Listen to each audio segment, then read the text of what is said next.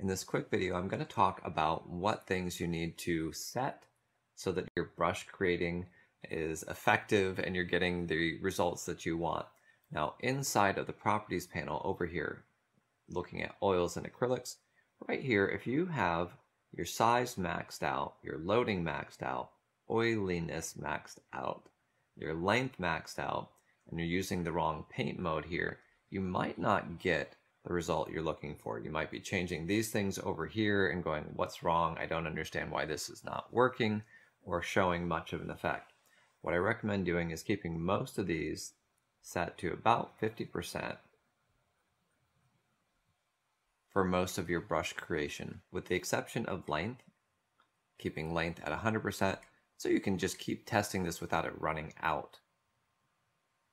Now, if you're painting and you're getting an effect from opacity and pressure, what might be happening is you might be in paint and blend mode and be blending from no paint to paint, and it gives this impression right here that opacity is being affected. It is not, it is the amount of paint, not the opacity. So keep in mind if you have this opacity pen pressure slider set to zero and you're getting this effect, it could very well be from being in this specific paint and blend mode.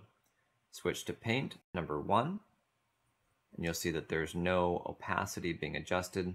Right here, if you're getting this and it looks like opacity, it might be the paper texture strength or contrast here having an effect as well. So you can turn those down and you'll notice that there's no opacity effect. This is actually the texture of the paper that's being affected.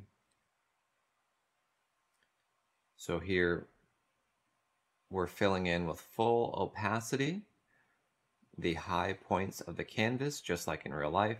If we press harder, we're filling in both the valleys and the mountains. This is not opacity, it's the texture influence playing a role. This is what happens with ultra realistic tools is you have to take into account these extra variables that can play a role in, in what you're seeing. Those are my quick tips before you get started making your own brush. In the brush creator, make sure that you keep some allowance for going smaller and larger in these different properties here. Keep length set all the way to the right.